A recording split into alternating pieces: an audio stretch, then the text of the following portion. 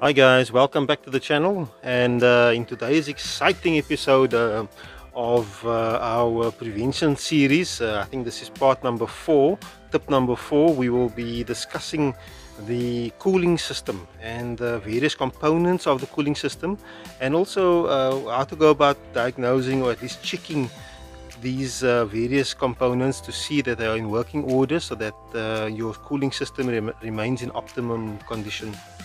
So the first two uh, components that we'll be looking at is um, the very first one uh, is your heat gauge. And uh, these are going to be the first two uh, components of which most people are actually familiar with and if you look at the heat gauge um, the heat gauge is a very good indicator as to what's actually happening in your cooling system. It's one of the first things that you see. It's actually the only thing that you see while you're driving. It's the only visible indicator of that the that everything is fine or that there's actually a problem inside the engine and um, the best thing to do here is to, to continuously observe your, your, your heat gauge. Eventually you will be become accustomed to its, its range. And the heat gauge does move. In some vehicles the heat gauge moves quite a bit. And in others it doesn't move at all. It just goes to one position and it stays there.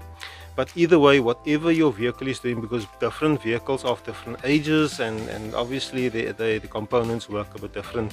So um, make sure that you are you are accustomed to how you how your actual heat gauge is functioning and what your ranges are when you are driving on a hot day. It will be a certain temperature and on a colder day it will be a certain temperature. Might not be a big difference in degrees but there will be a slight difference. So the next uh, component we're going to have a look at is the expansion tank. Um, and this is this uh, bottle that you see um, that when you go to the garage you always ask the petrol attendant to fill up for you and to check and this is uh, one of the most important uh, components or at least the most important visual component that you can have a look at and actually see what's actually happening inside the cooling system. Now if you have a look here you'll see um, if you look closer you will see that there is a, a indicator here which tells you where your water level should be when you when the engine is cold. So in the morning before you start up open up the bonnet have a look and see where that water level is. And this is another visual indicator that will be a very good uh, indicators to what's going on with the cooling system. If you look every morning and you check and you see it doesn't move, it doesn't change in the same position, most times your cooling system is working fine. But if you notice that there's more water or less water inside the this expansion tank, if the water goes up and then you come in the in the evening or in the morning, you see it's gone down to the bottom, then there might be a problem. But we'll get to that. So have a look at this and um, make sure that when you are driving and you uh, stop somewhere, never open this expansion tank. It, the water is very hot inside here and there's a lot of pressure inside it. All the pressure from the cooling system uh, gets expanded inside this little bottle. It's a very important part of the engine and it's a part of the engine that you need to inspect carefully and make sure that it's, it doesn't have any leaks or there's no actual air coming out of the water running out. Okay so guys remember now um, this this series is dedicated to the to the layman uh, motor vehicle owner or basically the person who, who knows a little bit about this engine but is, is not really a full-on mechanic. Um, and the purpose of this of the series is to just let you be aware of what's happening you know with your visual cues and, and also just to to see what what needs to be fixed and replaced if necessary so the next part of our cooling system that we're going to have a look at is the radiator. So from the previous uh, episode that you guys watched, um, I had this example of this amazing perfect uh, condition radiator. And if you look at this one, it's a fantastic condition. It's brand new. It's, uh...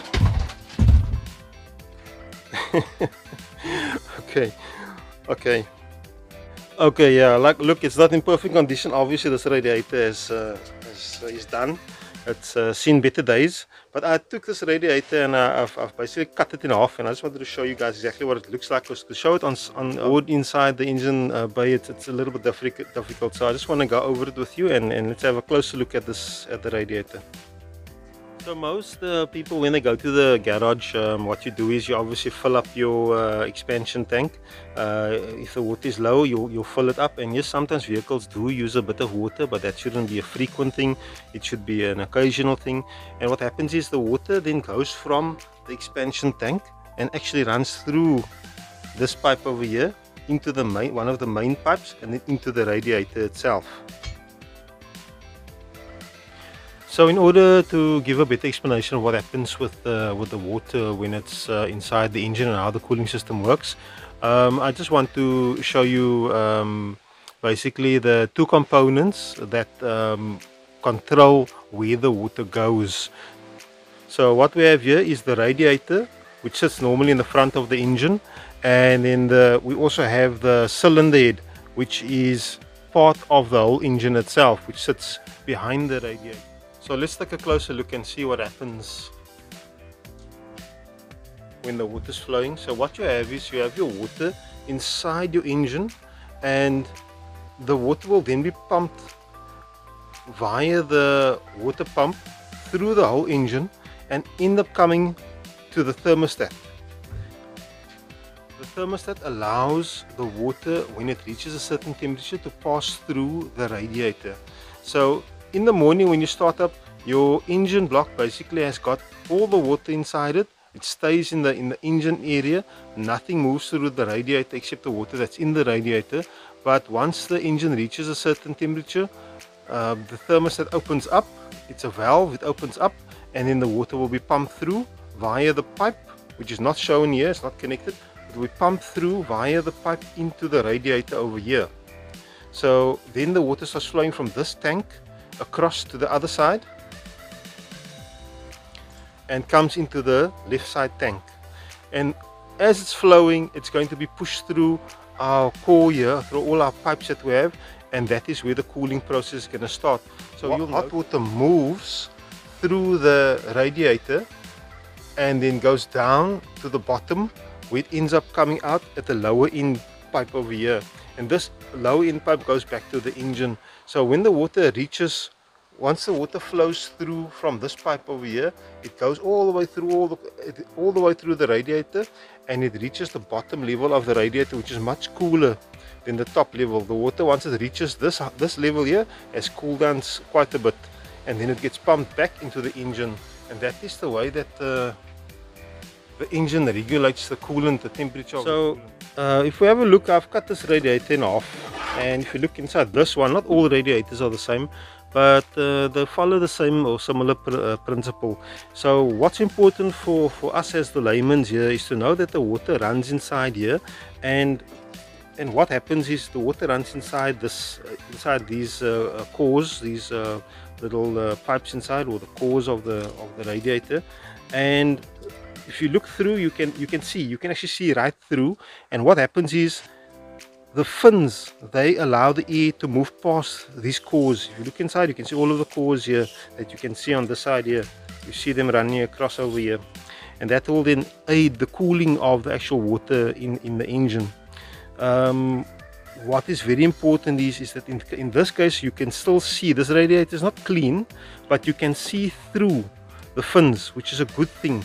Because in some cases some radiators are completely clogged up and then you wonder why your heat gauge is going up. That can be one of the reasons why the heat gauge uh, goes up.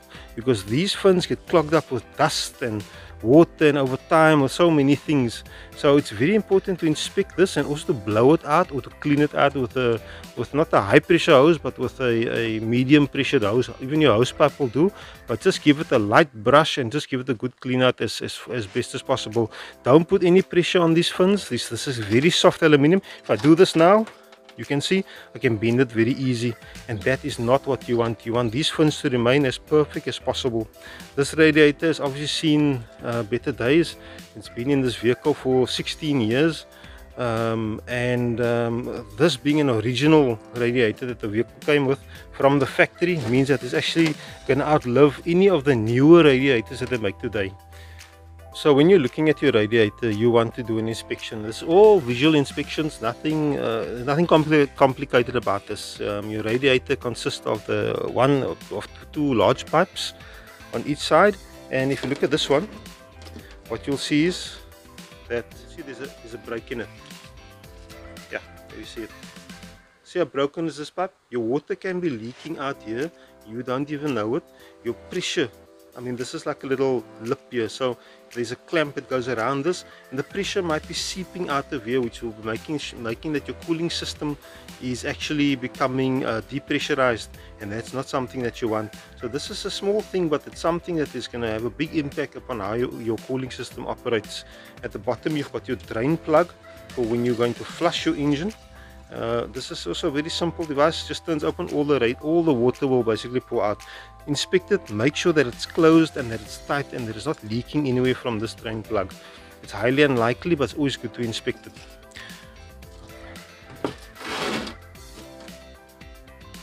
Something else that also leaks is the tanks. It's known as tanks along the side. Here this is the left tank and the right tank. And what will happen is you'll find that there, can actually be a split in this tank. In the case of this one there was a crack somewhere. I can't even see it. I can't even find it.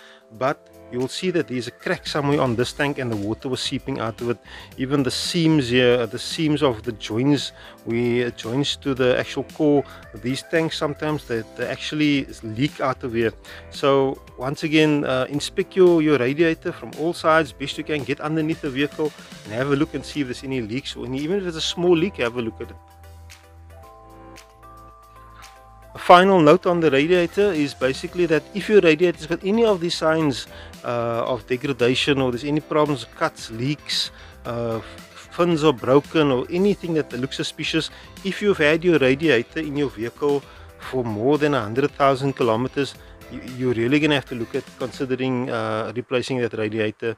Um, unfortunately, radiators are not cheap, but in the long run, it's actually going to be better if you do go and you replace it because this will, will aid your cooling system further on down the line.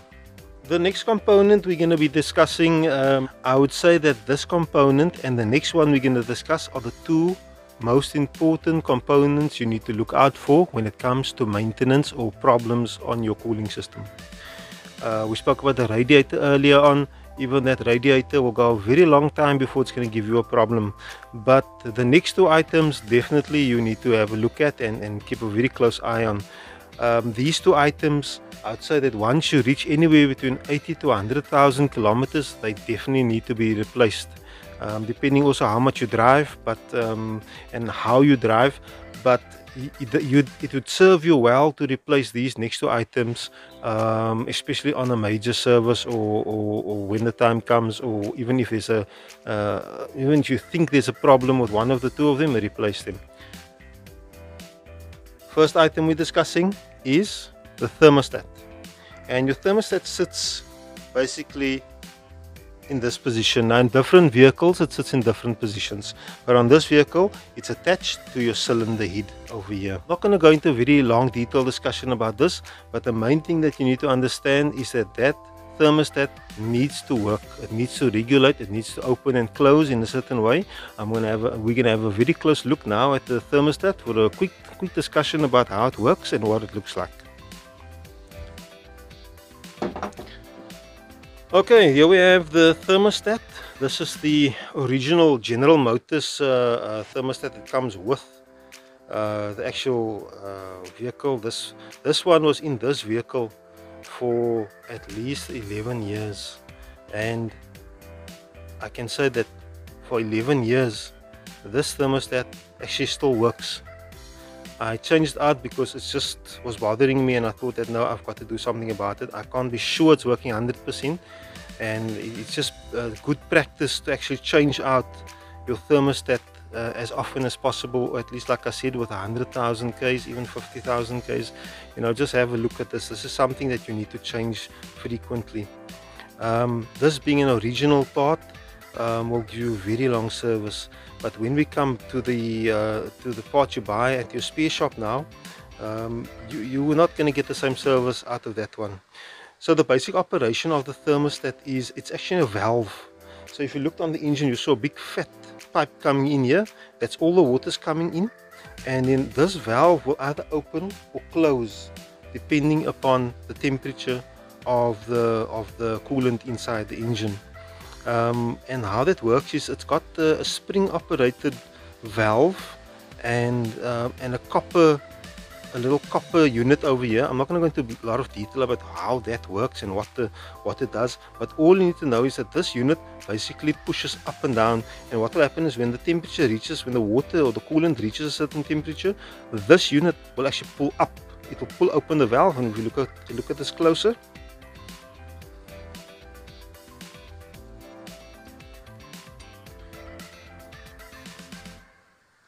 that's your cap that's your spring what happens is what happens is your your copper unit here will pull up. It actually pulls up. And you can test this with the, a flame and you will see that it actually pulls up. And what will happen is it opens up. This inside here is, is the valve. This is the valve here. And what you do is you will see it pulls up and it opens up the valve and the water comes through here from the, the big pipe. It comes through and it will be pushed. Actually goes the other way. It pushes through this way and then you'll get the flow from the cylinder all the way through the whole system. Um, I'll explain the importance of this at the end of the video. But that's basically your thermostat and that's the, the basic operation.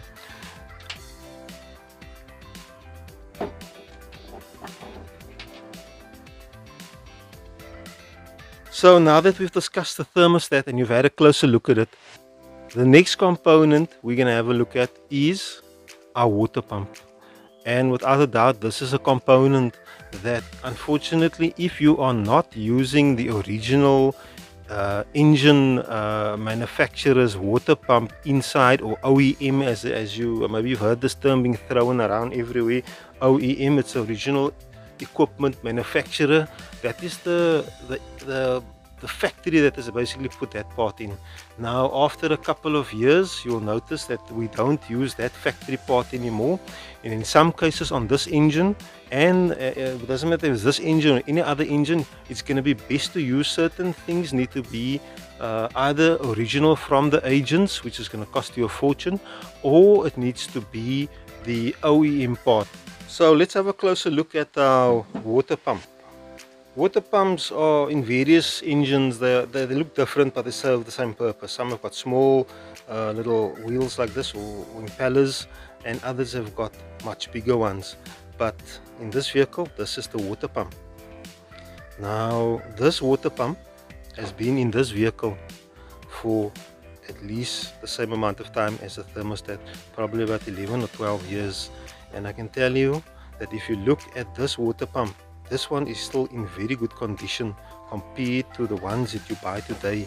Um, you know the ones that you buy over the counter the space shop this one they will not last you 11 years. This one is the original one. If you look at this it's copper fins. The new ones don't have copper fins. If you look at the body here it's mildly rusted. If you've ever taken out a water pump that is not a genuine one you will see this whole section has been rotted away. It's eaten away by the rust. And that can be for various reasons but they do not last as long as this. Um, the, the, construction of the body itself is very good. Um, the reason what happened to this one is the bearing inside and the seal failed and that was after all this time. And it also got a bit of mechanical damage um, and that also resulted in this one failing. But even though it failed it's still in good condition. You, you cannot really recondition these. You cannot open them up and fix them up. It's best just to buy a new one. One very important thing about the water pump is this little hole here. And what you'll see is on your engine what you'll probably see is when you open it up you'll see that you'll see this side. And then you'll have a look and you see underneath there's this little weep hole here. Now if anything comes out of this weep hole any water green brown yellow pink water whatever comes out of there you know your water pump is on its way out or is finished one of the two. And you should replace that immediately um, that is a very very good sign to look out for. The minute that you see water coming out of here or any liquid any fluid that's the end of it. Change it immediately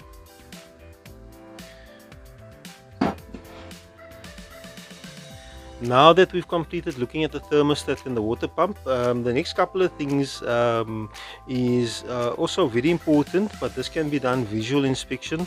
And um, they're not so they're not so critical in the function of the engine but if they are leaking or damaged then you should replace them. Uh, what we are speaking about now is the pipes the water pipes that actually transfer all the the coolant across the engine.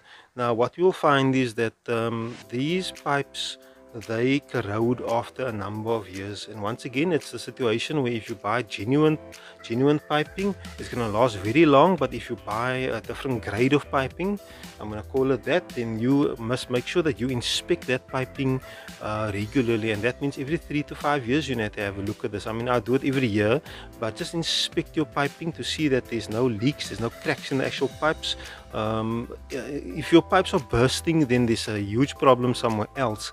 And normally it will be related to your water pump or your thermostat or your radiator or all the other components. But uh, any pipes that, that burst or crack um, and, and it's doing it regularly then you know you've got a huge problem in your engine um, but generally pipes they, they don't they don't pack up they don't go they don't break. The only pipe I know that really breaks is the one that sits behind this engine and it's in the back of the engine. Um, that one is a plastic pipe and from time to time once again if the pressure is not right in the engine the cooling system is not operating 100% that pipe can develop a cut in it and water will spew out of it and you'll find yourself on the M5 N1 R100 or N7 you'll find yourself there standing next to the side of the road and you will have that pipe that is completely burst and there'll be nothing that you can do about it.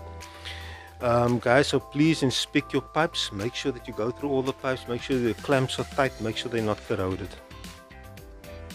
When you're looking at your heat gauge you will notice that your temperature moves up and down and that heat gauge gets its information from the sensor, the heat sensor, which sits right at the back of the engine. What you'll find is that um, that sensor, uh, once again, it's a sensor that you, you should replace um, at each major service.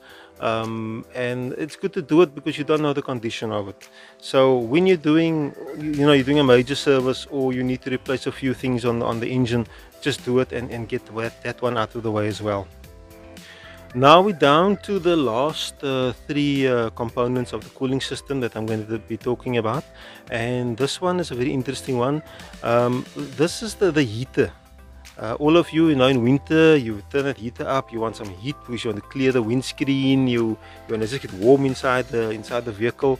Uh, now, the heater in this vehicle is, is, let's call it, it's, it's part of the cooling system but in many modern day vehicles that's not the case. They've got their own little heating coil inside. It's basically like a small little heater like an element with a fan behind it uh, even more complex type of heating systems. Um, but this one is still from the from the let's call it the almost old school. In this vehicle the cabin heating system is actually heated by the actual coolant the actual warmth of coolant in the engine. So depending upon how warm the engine is how warm the coolant is that will dictate to you what the temperature of the of the heater will be inside. So how does this work? Let's have a closer look at, at how you can identify uh, your system and why it's important to inspect this heating system. So let's take a, a closer look here at the how to identify this.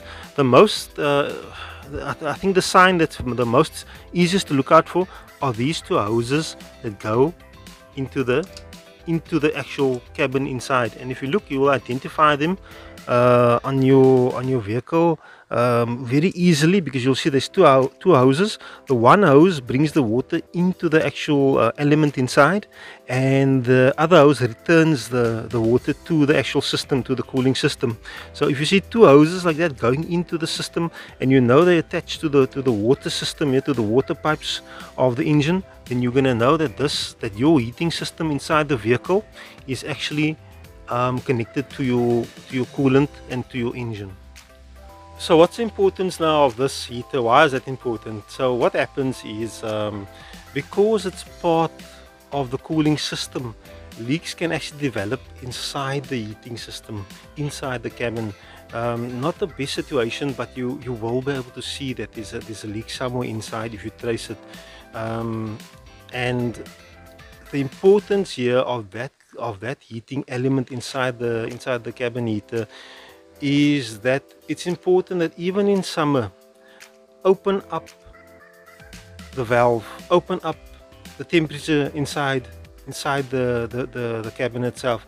Open it up even it's hot just take a drive with it on open all the windows and drive with it and make sure the vehicle is at, at maximum temperature at its operating temperature and then take a take a drive and open up open up that that valve and let that water and coolant go through the heating element. What that will do is it will keep the heating element clean and it will also stop it from blocking up. Because sometimes what happens is um, I've opened up vehicles already where that heating element and those pipes that, that core inside there needs to be flushed out needs to be mechanically cleaned and it, it's quite it's a nightmare. Um, and to find a new heating element a new heater box that's a whole expensive uh, uh, exercise. So guys make sure just from a maintenance point of view that when you're driving it can be a hot day you know you can play a prank on your wife or on your husband. Just turn that heat up and just tell him that you're just trying to service the, the, the heating box inside the engine. Okay second last our second last uh, component of your cooling system is and I've spoken about this before is the coolant and as you know you get different types of coolant and at the end of the day please please please don't just throw water into your cooling system. Go to the garage. If you if you find yourself going to the garage and you're putting in water every day then then there's a huge problem. If you're topping up once a month and i mean topping up like half a cup or so then then it's worth investigating. You know if it's less than that you should be okay. But very importantly what happens to some people is they find they're adding water and adding more water and adding they didn't fix the leak that they have or the problem that they have they're adding more water adding more water. You are actually diluting the the, uh, the antifreeze that you put into the water. So the coolant inside the engine consists of water and it should be distilled water is always the best option to use. It's, it's not a must but it's always a better option to use. You, you need to have distilled water and your your antifreeze inside the inside your engine. Now if you just keep putting water in there what's going to happen is you're going to start uh, you're going to start changing the uh, effectiveness of the actual coolant that is in the engine. Um, and when you start doing that what you're going to find is your engine is going to start corroding inside, your radiator is going to corrode, your water pump is going to be eaten away because you've got electrolysis going on inside the engine and that is like the last thing you want. It's really it's not worth it and it's best to spend the money and, and, and do these things, get your antifreeze, get your, your coolant sorted out inside your engine. Um, and last but not least guys, um, very important, after uh, you've done your service, and let's say every 10,000 k's I won't say every 10,000 k's but maybe after 20,000 k's or so two service intervals or you know flush the entire cooling system. Make sure that you get rid of all the old antifreeze. Use a, a flushing agent flushing agent will basically help you to get rid of all the sludge and, and, and even the rust, uh, a certain amount of rust in the engine. It will help your radiator. Um, this is now, you know, in extreme cases, if you haven't looked after your your, your, your coolant inside the inside the, um, the, the, the engine, then it's going to be best to, to do a radiator flush. Uh, these vehicles only last, uh, these engines at least are, are designed to last maximum five to 10 years maximum. 10 years is even stretching it. Do is you, if you're having issues with affordability, make sure that you take some money, take a 200 Rand, go and buy a bottle of antifreeze. Put it in your garage, leave it there, and keep going. The next following month, you go, you buy a new thermostat. You know, not expensive to buy.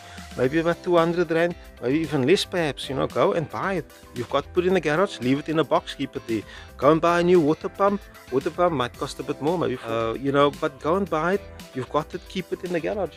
And so on and so on, guys. But don't don't leave it. Don't wait until now you need a major service.